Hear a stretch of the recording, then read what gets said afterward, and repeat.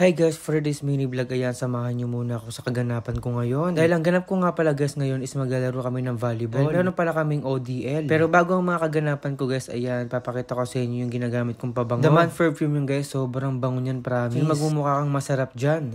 O diba guys, pagkatapos ko magpabango, bigla may lumapit sa akin na pusa. Diyos ko, hindi ako cat lover, pero ngayon lang ako nakita sa mga pusa ngayon. At yun na guys, no, dahil sila Cyril, saka sila Roque, nag-aasikaso na. Dahil nagsasaing pala kami ng 5 kilo, diba? Sobrang dami. Dahil mamaya kasi guys, magkakain ng kami mamaya sa ODL. Yun talaga yung inaabangan ko, no? Okay lang kahit matalo kami, basta may pagkain.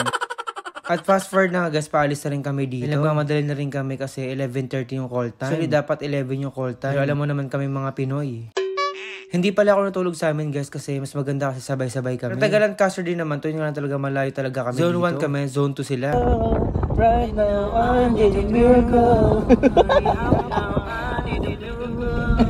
o diba guys, parang balo si Rocky. May dala pa talagang microphone. Hindi ko alam habang tumatagal, sumasaltik itong si Rocky eh. Dito kami guys dumaan sa Bermosa kasi sobrang lapit lang talaga sa court dito. Kasi sobrang lapit lang talaga, very shortcut talaga to. Kasi pag dumaan pa kami talaga sa Imo, sobrang layo ng iniikot. Kaya nakarating na rin kami sa court, ayan guys, wala pang ganong tao. Eh dito muna ako tumabi kila Joma. Mas ko, congrats pala sa'yo dahil RN ka na. Kaya maya na rin guys, mag-aasikaso na ako kasi maaga pa naman. Sobrang tagal ko silang hindi nakikita guys. Tagal ko talaga hindi naglalaro sa LVC. At na guys, no, biglang dumating si Ryan. Eh yung mga admin ng mga LVC saka sila Jivu. Buti pa talaga sila, merong mga jersey. Kasi yung team ko hindi kami nakapag-usap kung gagawa ba kami or hindi. Yung medyo napaparami na rin yung mga tao. Ayan guys, malapit na mag-start. One day league pala guys to ha. Pangatlong ODL na to sa LVC guys. Saka ang bongga dahil meron pa silang paraffol. Pero sana talaga mabunot ako dito, Diyos ko. Unahan ko na kaya guys ha, wala tong mga highlights. Papakita ko lang sa inyo yung mga kaganapan talaga dito. Uh, opportunity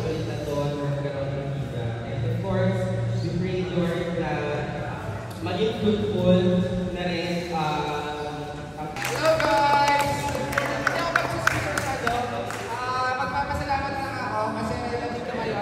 ang teams pala dito guys, 8 teams po ito. Team ko pala dito guys, Team Fresh. Hindi ko talaga kaya magpa-highlights ngayon kasi ako lang talaga yung nagbi-video. At baka maloba talaga ako ng malala. Tapos yung nag-first raffle na ayan, nakakuha si Rocky ng Shurak. Shurak ba o ba sa lagayan ng sapatos? Yan, Diyos ko, tuwan-tuwa ako dito. Natawag ako sa top 20. Yung nga lang talaga is naging Team Philippines na rin ako. Hanggang top 20 lang talaga inabot ko. Kaya ako tinawag guys, ayan, kumain na lang muna ako. Sabi ko nga sa inyo, kain lang talaga yung habol ko dito. Dahil sobrang aga talaga namin nag-asikaso kanina. Hindi na rin talaga ako nakapag-almusal, kaya dito na lang ako kakain. Dito guys, sobrang dami talaga ng pagkain dito. Pagkakalam ko, birthday pala ng isang admin namin, Kuya Ernel, kaya nagpakain siya dito. Kasi nabay na rin ata yung pa-ODM. Pagkakalam ko is 15 pata yung birthday niya. O diba guys, sobrang bait ni Kuya Ernel. Kaya yung 200 pesos mo na binabayaran sa ODL, 'di ba? Sobrang sulit na. sobrang daming foods, 'di ba? Hindi hindi ka na rin talaga lugi dito. At yung tapos na kami kumain, guys, just ko next game na pala kami. Ang team namin talaga is wala pa kami panalo kahit isa. Ang mangyayari ata dito, guys, magiging UE era Dahil kami. first time ko lang talaga sila magiging kakampi. Kaya parang nagkakailangan pa talaga kami ng malala. Sama ko daw siya guys. Sama-sama kami. Kasama tayo sa. Ito, sama-sama tayo sa bus na eh.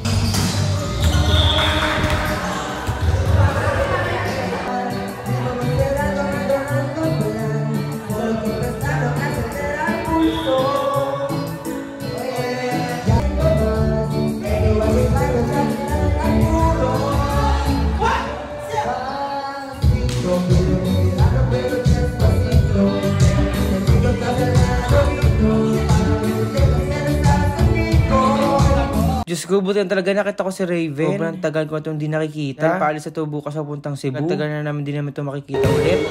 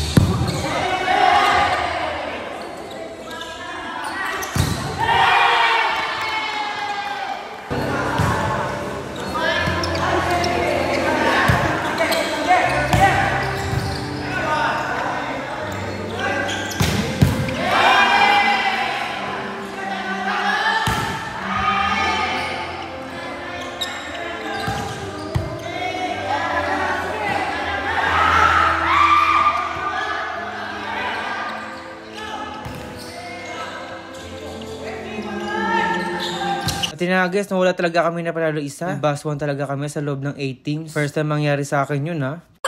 Pero okay lang kasi sobrang nag-enjoy naman talaga ako. Kaya yun tapos sa lahat ng game guys ay mag-awarding na. Dahil tatawagin na yung mga best open, blocker, libero, setters, receiver, mga best server, ay yung best opposite syempre. Kaya congrats sa mga nanalo guys ha. Hindi ko na alam talaga yung mga reward nila kaya naglagay nila ako ng highlights dito. Ako pinalad ngayon sa best opposite. Si Herge kasi eh. Charis. Pero okay lang yun guys kasi ganoon talaga ang buhay.